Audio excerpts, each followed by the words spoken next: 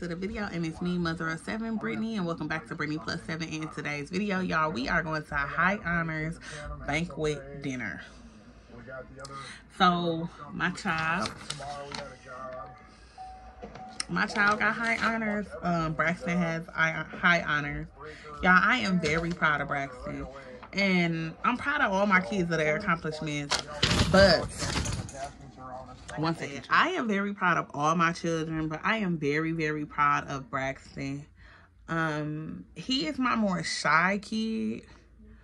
So he talks and stuff, but he's very, very shy. So I was very surprised that he had got high honors just because this is a new school for them and for them to get it or for at least one of the twins to get high honors at this new school which is a tad bit more challenging for them because they're adjusting and it's the first semester and he got high honors y'all. I am very proud of him. So in the comments down below comment congratulations braxton. Y'all i'm proud of him.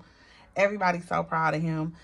So um yeah we finna get ready and go to the high honors banquet y'all. Yeah before we went um in a previous video it was with journey last year. Now it's with um braxton and i'm so happy that he he accomplished this and y'all, I'm happy that I really wish all the kids got it, but I'm really happy that one of the twins got it. They all did great, but he just had everything be up, above and beyond. His GPA this semester was a 3.5. So yeah, down in the comments down below, y'all clap it up for my Braxton. He had a 3.5.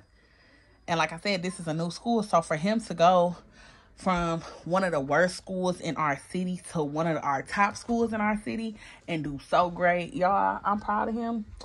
Y'all, I want to show y'all him so bad. So I, I'm, a, I'm filming him regardless, y'all, because I'm giving him his props and his dues.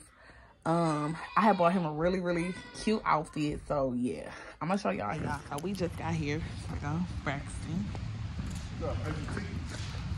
No. Each and every one of you has an hour. Yeah, you should get your salad. Sixth grade. Um, sixth grade, here we go.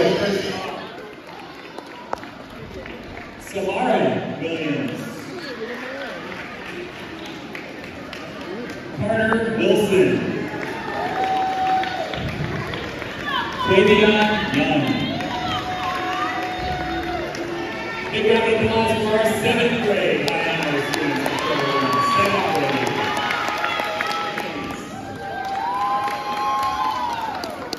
Obrigado.